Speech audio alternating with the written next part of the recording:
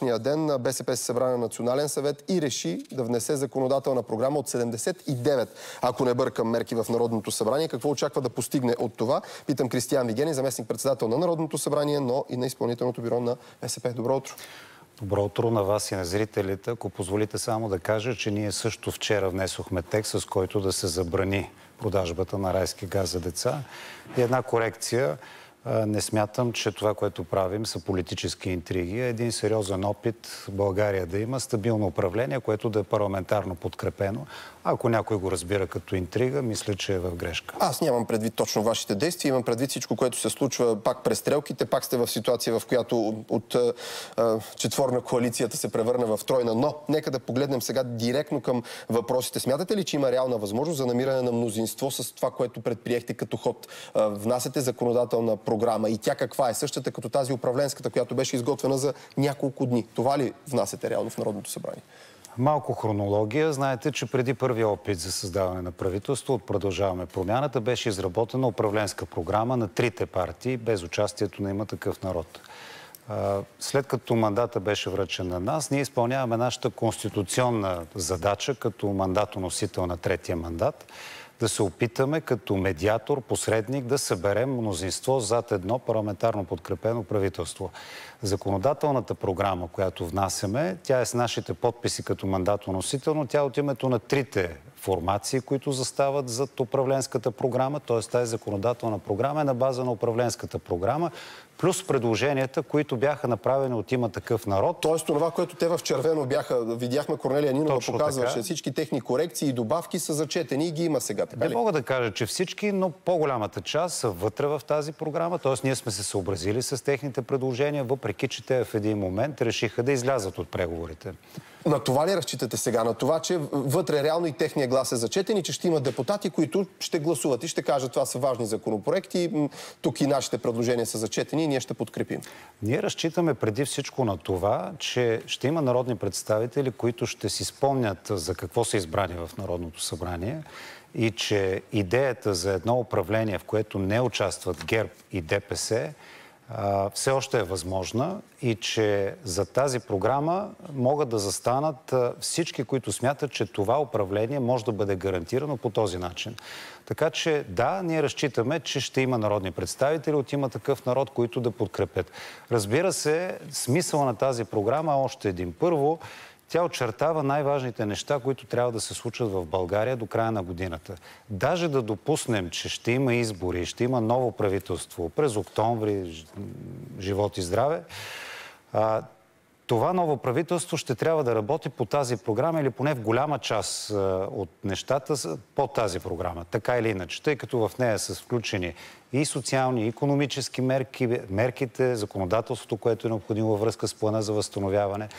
Но това, тази програма и подкрепата за нея ще бъде и знак дали в Народното събрание има и мнозинство за създаване на правителство. Това е един така, нов подход. До сега партия с трети мандат не е правила такава стъпка. Мисля, че това е един разумен начин да видим има ли подкрепа за тези приоритети и ако има, би следвало да има подкрепа и за правителство, което да ги реализира. Въпросът е, че до момента търсенето на индивидуална подкрепа по този начин и по начин е предприят от Продължаваме промяната не даде резултат и на мен ми е любопитно какво се е променило, че ви очаквате различен резултат. А, ние не сме подхождали по начина, по който го направиха Продължаваме промяната. Но разчитате на водени, тези гласове. Не са водени някакви специални разговори. Разчитаме на това, че хората ще си дадат сметка, народните представители, пак да кажа, защо са избрани, да си спомнят хората, които са гласували за тях, за какво са ги изпратили в Народното събрание и да проявят отговорност към трудностите пред страната, защото а, сега е много лесно да се дават съвети, върнете мандата, избори на есен но когато проблемите започнат да се трупат, тогава ще започна обратното говорене. Защо не направихте всички усилия? Да, ние като партия, като парламентарна група правим всичко, което ни възлага Конституцията. Всеки една възможност използваме, за да гарантираме, че ще има управление. Ако няма, избори, разбира се. Как са степенувани приоритетите обаче? Кое е най-водещото в тези 79 законодателни точки? В, ще видите, че освен, че са изброени тези законопроекти, има и точен график, в който се очаква да бъдат приети. С какво започвате? Една част, една част са свързани, например, с избора на председател на Комисията по енергийно и водно регулиране, с председател на КПКОМПИ. Други са свързани с нещата, които предстоят следващата година във връзка с бюджета, т.е. социално-економически законодателство, което трябва да бъде прието преди да бъде прият държавния бюджет за следващата година. Но също така има специална глава и там всъщност са основния, основните законопроекти, които са свързани с плана за възстановяване, устойчивост и необходимостта те да бъдат прияти, за да можем да освояваме средствата по този план. Там са мисля, че 15 или 16 законопроекта също разположени във времето от септември до декември. Да изясним им важни детайли. Програмата е със срок до края на годината. Казвате 6 месеца, нали така? така? Само, че месец юли почти приключи. В най-добрия случай, ако бъде гласувано в четвъртък, месец юли вече го броим за назад във времето и за история. Тоест, вие разполагате с 5 месеца, нали така? Или до януари ще я карате? А, не, ние казваме 6 месеца, защото по принцип тя беше разработена преди края на юли, все пак има още няколко дни. В нея ще видите включително избор на председател на Народното събрание. Ако видим, че се формира мнозинство утре, още в петък можем да изберем председател на Народното събрание, но няма нужда да ги смятаме по този начин. А, ние а ще ми е предложим... с темповете, с които до момента да, работите, кажа, господин пред... Вигенен. Дали готови, ще сме, готови сме да предложим удължаване на работата на Народното събрание. Първата, евентуално втората седмица на август. А, освен това, част от тези законопроекти, те трябва да бъдат подготвени от новото правителство. Някои са готови, разбира се. И аз бих казал, че трябва да се опитаме да погледнем напред, да анализираме какво, как е станало до сега. Мисля, че ще дойде момента и за това, но в момента сме фокусирани върху това да има ясна програма с срокове на следващото правителство. Това ще даде яснота и на гражданите, ще има стимулиращ ефект върху парламента и институциите, които са ангажирани с този процес и да се създаде едно правителство, което бързо да започне работа по тези приоритети. Разделяме нещата само, все пак да обясня. Това е законодателната програма. Разбира се, в управленската, която сме договорили, има действия на Министерски съвет, които трябва да бъдат предприяти и те ще вървят буквално от следващия ден на създаването на правителство. Колко души обаче от БСП не са съгласни с този подход да се дава още време за нови опити? За... Вие казахте за първи път партия с третия мандат прави подобно нещо, защото прочетох Крум Зараков какво е написал, че Националният съвет на БСП създава, цитирам, нереалистични очаквания към своите избиратели. Той казва да се върви към избори. И не само той. Аз мятам, че тази оценка не е коректна, тъй като нашите избиратели предпочитат да няма избори. Ние сме направили този този контакт, тази консултация с нашите членове и симпатизанти в последните седмица-две. Така че не е въпрос, освен това, вижте, нашата преценка е, че трябва да направим всяко усилие. Не смятам, че създаваме нереалистични очаквания, защото каква е разликата между това дали ще върнем мандата днес или в петък, когато видим, че няма мнозинство зад програмата. Но ако има, ако сме изпуснали този шанс, който все пак е можел да бъде реализиран, много ясно беше казано, че в петък или ще върнем мандата, или ще предложим премьер. Ако предложим кандидат за премьер, който ще бъде Асен Василев по решението ни от вчера, с 96 на 15 гласа, все пак да подчертая, новият министр-председател ще има точно една седмица вече по Конституция да създаде и да предложи новото правителство, така че при най-добро стечение на обстоятелствата, другия петък ние ще имаме ново правителство. Ако не, нещата приключват, но много е важна и ролята на останалите институции в случая, особено след вчерашното писмо от Комисията по енергийно и водно регулиране. За нас е важно да чуем и позицията на президента по тези въпроси, защото ако няма правителство, ще бъде негова отговорността да назначи бързо служебно правителство. Струва ни се, че бавенето е излишно. Трябва да се премине към бързи избори, ако няма ново правителство в този парламент. Да чуем как би решавал тези въпроси, защото това е независимо кое и как се е случило и как сме стигнали от тук. Отговорността е обща, така или иначе, за това какво се случва от България, в България от петък нататък. Стигнахме до там и тъй като споменавате няколко пъти петък. Кирил Петков официално ще се прощава с Министерския поз в петък. Стана ясно, че събира представители на своята администрация. Вие каква оценка давате на дейността на министър-председателя в последните 7 месеца?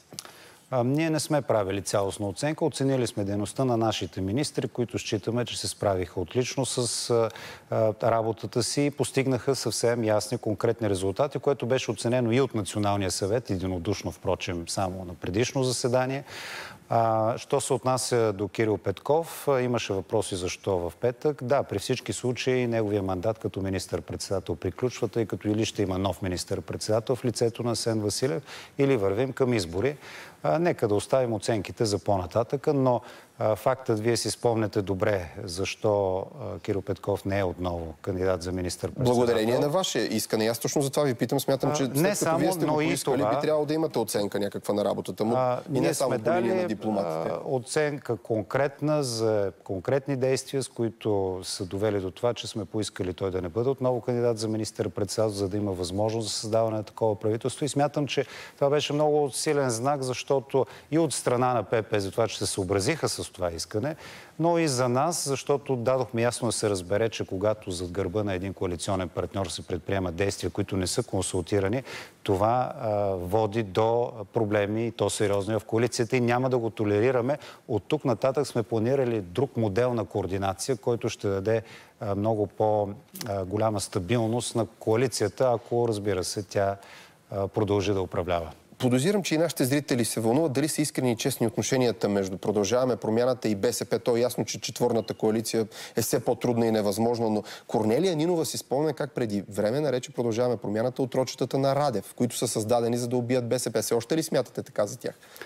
А, ние оставаме това, което е било назад в миналото. Искаме да се концентрираме върху това, кое е възможно, за да се структурира едно относително стабилно. Казвам относително, тъй като в такъв политически цикъл е не само България и цяла Европа. И в момента 10 или 11 европейски правителства, в които левите партии участват в големи коалиции с центристи, с десни, зелени. Просто в ситуация на кризи, във всяка една държава политиците, утвърдените демокрации се опитват да структурират управление, което да решава проблемите тук виждам, че в последните дни една част, особено опозицията в момента, много държи а, да отиваме веднага на избори, сякаш това по някакъв начин ще реши проблемите на държавата. Нека да мислим малко повече като държавници, бих казал, защото най-лесно е да се отиде на избори, но помислете какъв ще е ефекта от тези избори, ако се окаже, че сме в сходна ситуация, в която отново не може да се формира правителство и тръгнем към нови избори след това. Мисля, че хората и държавата не заслужават подобен подход, когато в момента има реална възможност да има правителство, което да се заеме с тези най-важни неща за хората и за държавата, мисля, че трябва да се използват максимално възможности то да се случи. Обществото заслужава действително открито, заслужава прозрачност. Кажете ми каква ще бъде ролята на БСП в това ново правителство? Ще има ли повече министри, ако е ясно, че има такъв народ, няма да участва в управлението?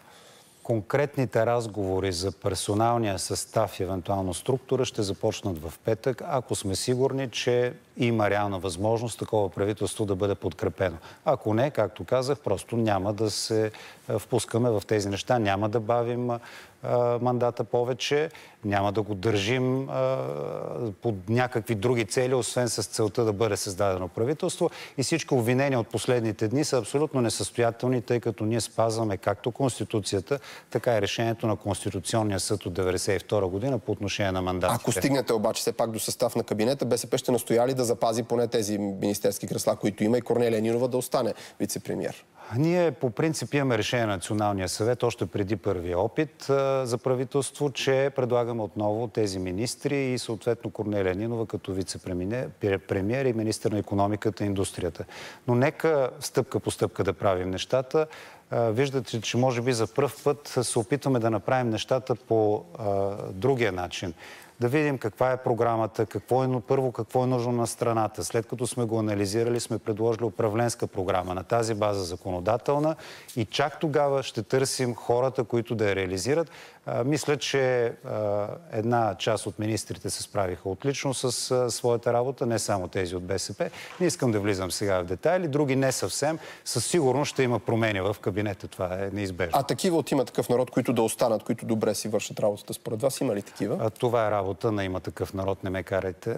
На, на, продължаваме промяната и на коалицията, когато и на кандидата за премьер, когато дойде момента да седне, да прегледа нещата. Все пак вие сте мандатоносител се... в момента, за това ви а, Така е, но ние, нашата съществена роля в случая ще се изчерпи с номинацията на министър-председател и с това, че с нашата посредническа роля сме, така се каже, сглобили мнозинство за този министър-председател. Оттам нататък водещата роля ще бъде на министър-председателя. Разбира се, той не може да решава нещата без нас. Внимателно ще преценим, ще подберем най-добрите хора, които да могат да се справят с тези предизвикателства, които се очертават, защото виждате какво се случва и в Европа, и при нас. Не искаме да плашим хората, но ако може, разбира се, че няма да си загине държавата, но можем да си спестим много трудности, ако не вкараме в политически хаос страната отново, така както се случи миналата година. Благодаря ви, Кристиян Вигени, за плановете на БСП, как да реализира третия мандат. Преди това с търсенето на подкрепа по законодателната програма. Останете с нас, още интересни теми предстоят до края.